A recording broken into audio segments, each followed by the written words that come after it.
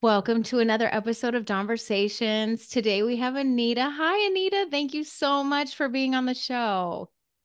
Hi, Dawn. I'm super happy to be here. Yes. Well, so I told Anita before I hit record that I've been spying on her and I noticed that she was doing some shorts and reels and all the whatever all the words are um, about grief. And so then I asked her if she had lost somebody. And actually, you're in the throes of losing a relationship. And that is so hard. I will never forget. I went to a high school reunion. I don't know if it was my 10 year. And somebody said, Where's your husband? And I said, Oh, I'm getting a divorce. And somebody, some girl chimed in the background, Congratulations. it did ease the the awkward, you know, because everybody's at a different point in their lives, whether you're just at the beginning of it, you know, and you're really grieving, or you've been out of it for 10 years and you've got the hindsight to say, you you'll be fine. Don't worry, you know, no regrets, all that. It's hard though when you're in the middle of it. What happened? Was it a strain with being home with COVID and all of that, or has it been going on for a short amount of time? You know, it's it's funny and I mean, it is a very raw thing for me still. And when people ask me what happened, it's honestly, it's not any one thing. It's just that the energy has changed and my ex, he's he's a lovely man. He's a lovely man. He, you know, was kind and compassionate. And there were some energetic things that just didn't work for me anymore. Mm-hmm. I've spent, we've been together 20 years. My daughter last year went off to university. So, you know, and I've been feeling this for a few years that, that just the level of intimacy that I want in this kind of relationship just isn't there. And I think part of it is, you know, men and women. I actually hadn't realized this. I just read this book that really solidified some of the differences between the way men and women are Mm-hmm. socialized. Women are socialized. We are taught from early, early on that we need to do lots of work to be okay in the world. So, in general, and of course, these are generalizations, Sure. women tend to look inward, tend to be more willing to do the personal work. Whereas men are never marketed to in this way. And so the idea of starting to look inward and improve, not because you're broken, not because something's so awful, but just because things could be better. Things, there is, you know, capacity for emotional growth. And, you know, women do this naturally, often, and men just don't. And so for a long time, I was talking, you know, this isn't working. I need these different things. I have this vision. Mm-hmm. And nothing was changing. And so I realized I got to a point where I was like, well, I can continue in this comfortable life and it would be fine, but I'm not here for fine. Yeah. That's not what I came here for. And, you know, through COVID, I really felt a little bit like a sleeper cell personally, like COVID hit. And I was like, oh my God, this is what I'm here for. Mm-hmm. This is the moment I'm, you know, waking up, stepping so fully into what I know my life purpose is to support new earth leaders to bring in a new way of being. Mm-hmm. So that was a lot. no, it's interesting though.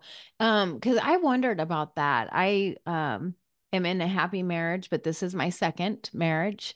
And, you know, I wondered about that when everything did shut down, how it was for people that were kind of just going through the motions and maybe not in a happy relationship, not content with the way things were, but they were just like, it's fine. And then going to work and just, you know, we all do it, go into automatic pilot and then having everything shut down and everybody kind of being forced to deal with the reality of I don't really like being home. I don't like how our relationship is. I don't like how we communicate or don't communicate.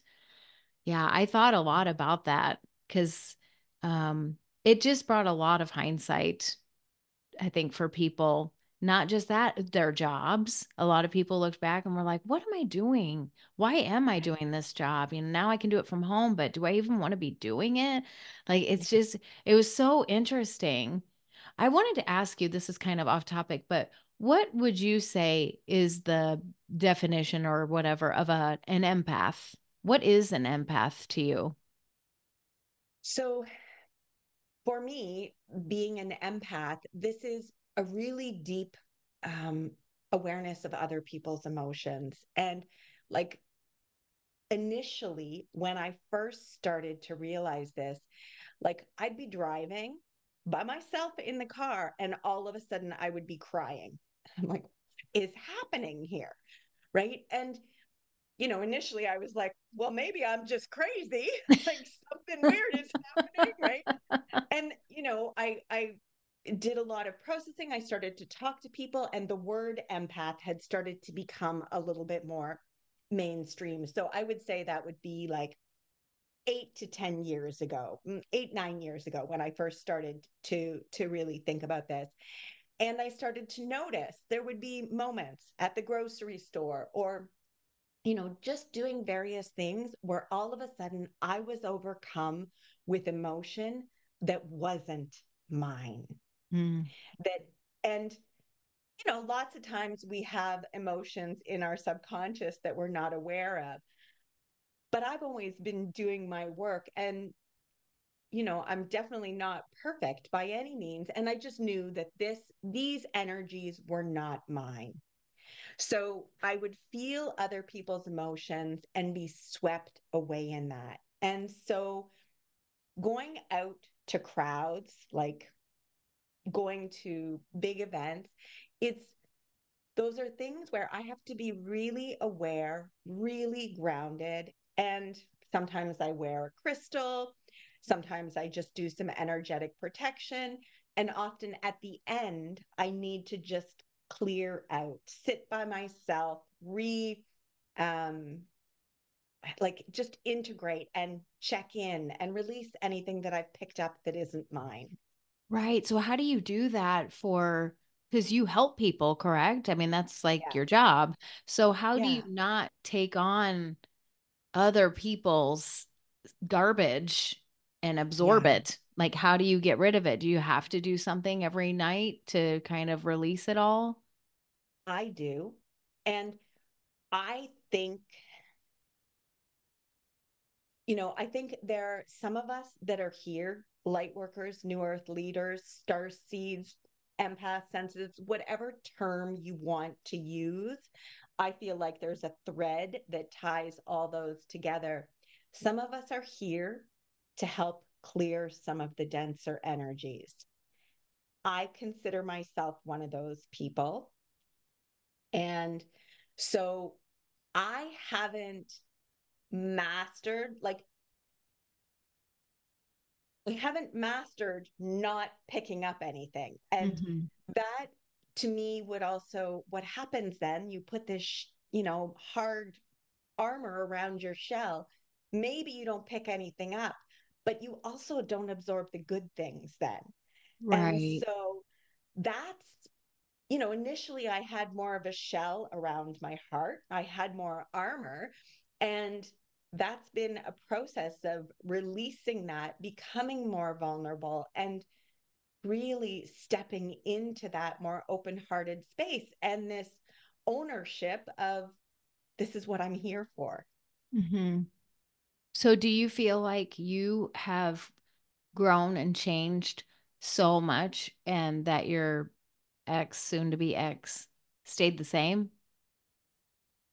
Yeah, I mean, he's grown too, but you know, he said to me at one point, like, I always feel like I'm catching up to you and then you run up ahead again, right? And I think that's certainly that was not my intention, but that's part of my whole life. I've had a like this internal drive. I'm going somewhere. I can't even stop this train, even if I tried.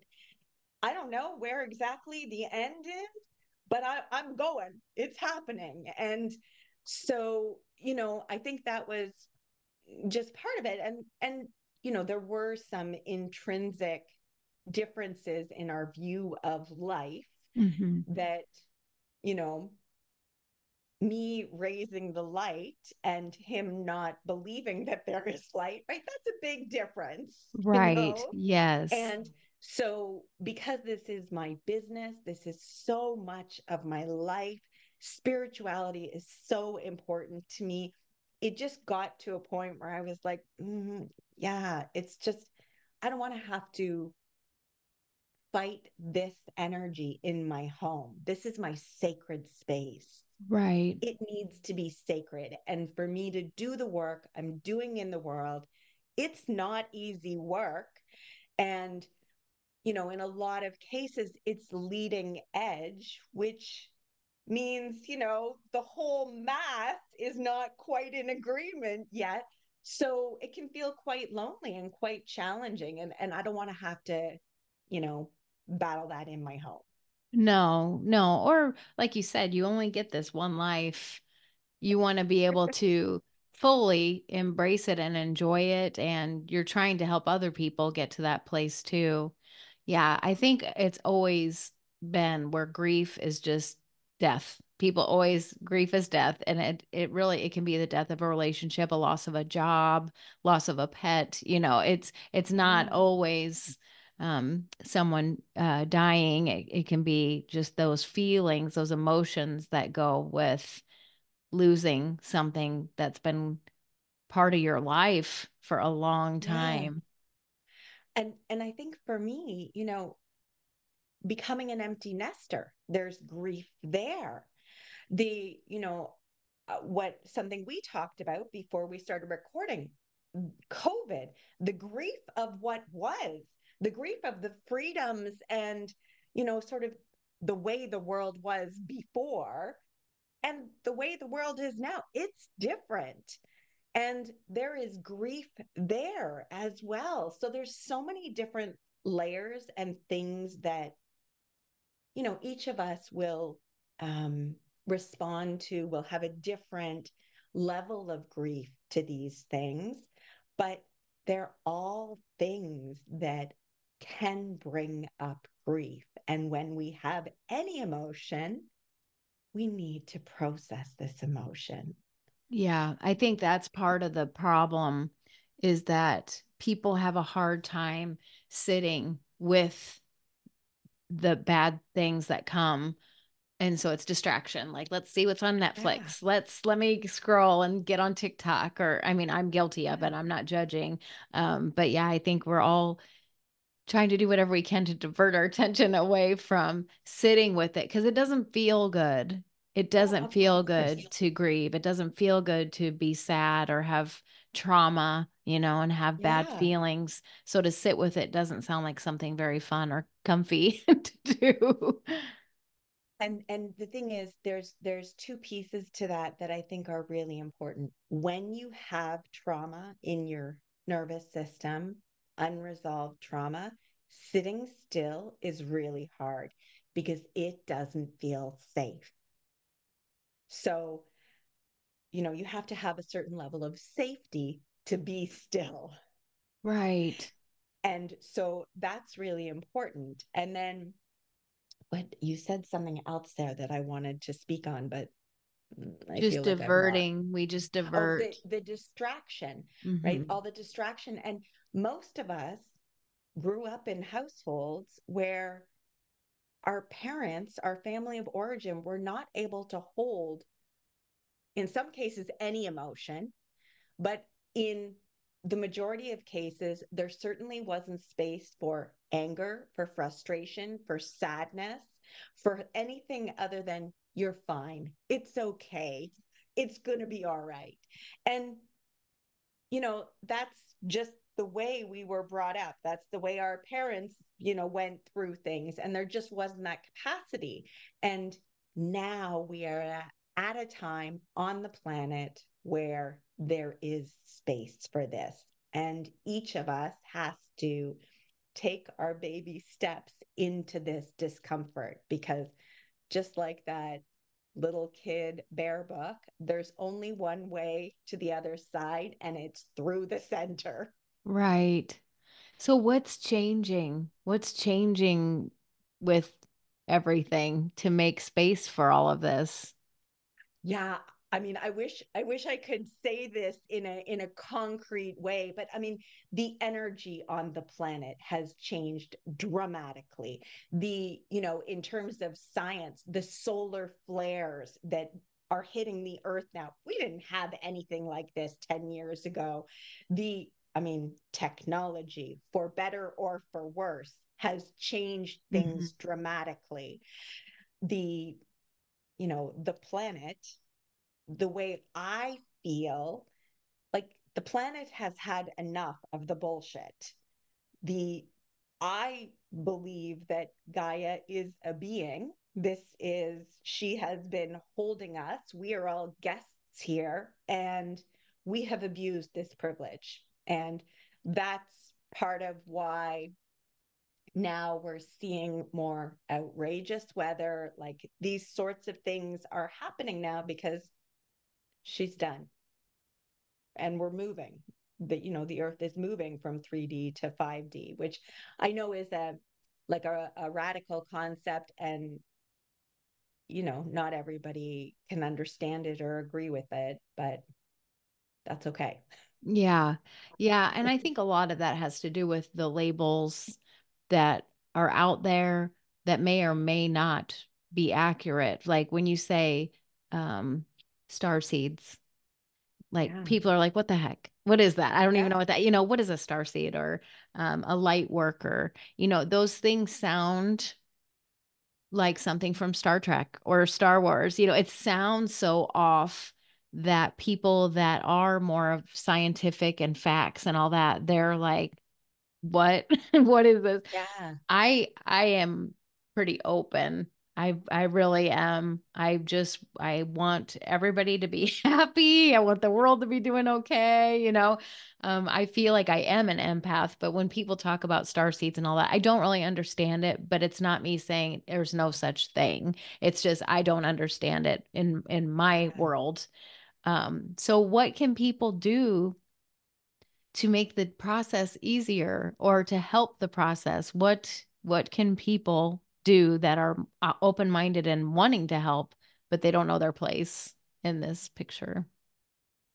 Yeah. So can I just rewind for a moment? You Is bet. I know. Right? I get going. You know, in terms of some of those those um, uh, labels, I want to just talk briefly on the the light worker label because for me personally, I have sh- shied away from that label. Up until about six months ago, I wanted nothing to do with it because I felt like there was a lot of airy fairy baloney around that term. And I saw a lot of people doing things that they were terming light work. And I was looking at them thinking, that is not anything light. I can, you know, feel that in my body. Not all of them, of course, but right. just there was a lot of distortion on that. And so over the past six months, I've started to really own this word because I've realized it's so clear now. Like we are, we are at a point where there is a war going on between the light and the dark. And um, I am here increasing the light. I am here spreading the light. And so I've started to use that term. And I just wanted to share that because it, it, I think it's important, you know, and and uh, with a lot of the a lot of the labels, a lot of the more sort of out there things, we have such mass distortion on this planet and moving forward, really knowing ourselves, like really knowing ourselves, both the good and the less nice, you know, the ugly parts of myself, the jealousy, the whatever it is, mm-hmm. you know, these moments where I'm bitchy or, you know, not whatever, knowing that and loving myself regardless, then I can go out and bring vulnerability and compassion and connection to my community. But only through knowing myself so well can I do that. And this is, you know, what I see as the big trauma in the world. Like we don't know ourselves. And, you know, I'm going to say something quite radical. And, you know, I know you're in the US, right? Correct. Yeah. So, and I mean, it's it's radical here too, but I did not get the COVID vaccine. I did not get the vaccine because trauma, my definition of trauma, the definition is too much, too fast, too soon for the nervous system. Everything about the vaccine felt like that to me. And it's not because I'm some right wing person. That's not it. It just didn't feel right. And I was careful, you know, mm-hmm. I no problem wearing a mask. I wanted to be respectful, but respectful, but not at the expense of myself. Mm-hmm. And it felt super, super wrong to me. And I lost friends over this. Like it was you know, I think many people did. And so, you know, just this knowing ourselves and using our discernment. That's where I wanted to go here the discernment, right? And this is when you know yourself, you can find your discernment. And whether it's through your third eye, your intuitive knowing, or through your heart or the combination of these two. But if we stick with the mind, the mind is not going to discern for us because there are so many ways to spin everything, right? There is uh, lots of science pro vaccine. There were doctors and scientists against the vaccine, mm-hmm. lots of them. And so, you know, we each have to find this way to our discernment and make decisions moving forward that are the best decisions for us. Right.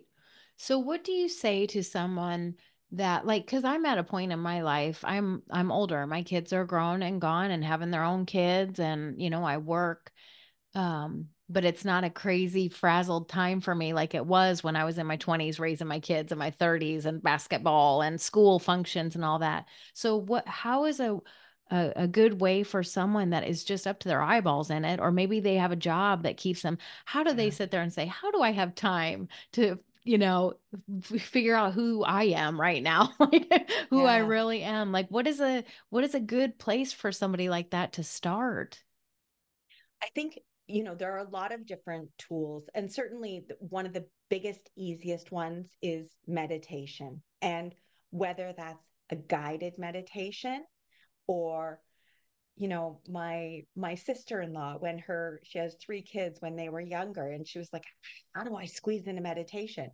so you're doing the dishes you're folding the laundry you're organizing the drawers but you're doing it with intention you are present. You are there in your body. You're feeling the clothes, you're feeling the water. Anytime you do anything with intention, this is increasing your capacity to be your capacity to be present which then expands your capacity to handle whatever is coming at you in life but we're not present a lot. Most of no. us are operating, you know, you're doing the dishes, you're listening to a podcast, you're like thinking about, you know, what's for breakfast. Yep. And and you can't do this all the time be present right but if you for set the timer for 2 minutes while you're doing the dishes and focus for those two minutes or you know look out the window see the birds connect with that in that moment like these are little things that start you on this path. Okay. So baby steps. Just Yeah. keep working on i've been trying to not have my radio on or music on when i drive. I don't drive far but i'm just like that could be my time of either quiet or i uh, i am religious as far i believe in god you know or universe whatever you want to call it. You know it's but um so a lot of the times that'll be you know thank you for letting me get to my destination safe or please let me you know just things like that I've tried to be more mindful of doing those kinds of things instead of just having the music on and letting my mind wander and then pulling into the spot and thinking, how did I get here? Yeah, yeah. I. I, I think this is so valuable, Dawn, because gratitude also is just so powerful and, you know, can take like a minute, right? Or five minutes. Again, like each of us has that amount of time. Right. And, you know, just like don't watch that second show or, you know, put the phone down just for five minutes. And, Right. and you know, like thinking of gratitude and you know, tapping. I know you had a session, like that's a tool I use daily, every single day. And I use it without words, just tapping through the points as part of my meditation. Okay. Yeah, I had another podcast that I did and and the lady was like saying how before her feet even hit the ground in the morning from her bed, she will thank whoever yeah, for uh, for five things five things that she's grateful for she said that's the way that she starts her day and that's seems pretty simple too you know just you, i'm grateful that i have a bed to sleep in. I'm grateful that i have the means to get out of bed you know not you know have my health or it's it's easier than people think to find uh, three to five things to really be grateful for. It doesn't have to be some big huge moment. Yeah. And I mean, if you're at a place in life where three to five feels huge, start with one, right? Right. I think the whole thing with meditation though is people think that they have to be crisscross applesauce, um, you know, like no kids, they're on an island. So I think that that's and it can be overwhelming too. I've got monkey mind and I usually do have to do a guided type of you know, uh, meditation because I my mind just yeah, it won't stop of course. I, I actually have um, a whole host of meditations on Insight Timer, and one of them is um, a standing meditation. It's very short, I think like under five minutes. It's grounding, but it's designed for people who can't do still right who who think that traditional meditation because for years i couldn't do that that just was like crazy talk you hmm think i'm going to be still and nobody's i'm just going to sit here in the sun no Right, right. right like that wasn't an option and um so you know starting where you are and this is uh, of course, you know, I've been around the block a few times myself. And, you know, every time I try and start from zero and go to 50, whatever it is, that's an automatic recipe for failure. I go from zero to five, well, now I'm looking like a rock star. And that's how we build and grow when we're like shame does not help. When we're shaming ourselves and beating ourselves up for not being good enough, nothing is going to become Right. uh, solid there. We need to love ourselves up. Be our own cheerleader. Yeah. I love that message. So, um, how can people find you if they want to um, look up, look you up, find your meditations, all that good stuff? How can they find you? So my website is the best place, AnitaKaiserWellness.com. And so you can find out all about the work I do. And at the bottom of the front page on my website, I have all my socials, including the link to Insight Timer, which then shows you all my meditations. Awesome. Well, I know we were kind of all over the place, but I felt like that's what it needed to be because you you cover a lot, but just the fact that you're going through something right now that I have been through, there is light at the end of the tunnel. It's there are good days and bad, just like there are when you're not married or not going through a divorce, you know? So just try and be nice to yourself and it'll it'll be better. It'll get better, I promise. yeah, absolutely. This was a, a, a, delightful conversation for me. And um, I think it followed the path of water, the flow, round and about. And that was exactly what needed to happen. Perfect. Well, good luck to you. I will be in touch for sure, but I appreciate your time and coming on the show um because I think it's going to help a lot of people. I love the the term start where you are. I really like that. Did you did you pick a word for 2024? I sure did. It's freedom. Oh, wonderful. Just a small little word. I mine was faith and and more just letting letting God take take the reins and me trying to step back a little bit, not trying to control things all the time. I think that's just maddening. So um I, well, good I luck in your show- your quest for freedom. Beautiful. Yeah. Thank you, Dawn. All right. Well, we'll talk soon, Anita. Thank you so much. All right. Bye bye. Bye bye.